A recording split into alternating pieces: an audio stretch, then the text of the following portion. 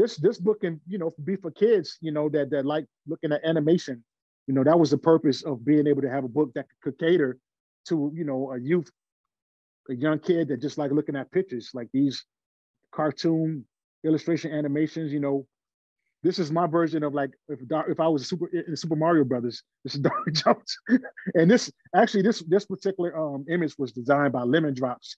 This his real name is Saul, and um, it came from a from a project that I did with an artist named Mark, Mark Knox.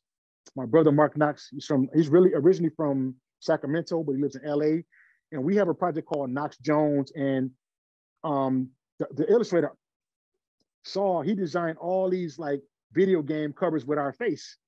So if when you see if you see the other picture with Mark Knox, we actually this is supposed to be Super Mario Brothers, the background, but this is just a, a box format where you see my face.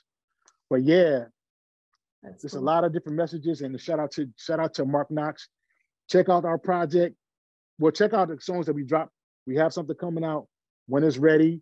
But Mark Knox, Daru Jones, short for Knox Jones. Um, we got a song called Stay Off the Streets, videos on YouTube. And Stay Off the Streets was inspired when by when COVID, you know, when we when we were going through the pandemic and we were told to stay home.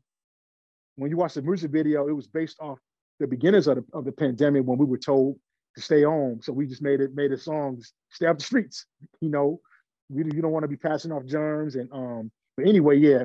Shout out to you know Saul that did did the illustration. There's some others in here. I don't want to give it away because I want try to support the kid so you can check it out on your own.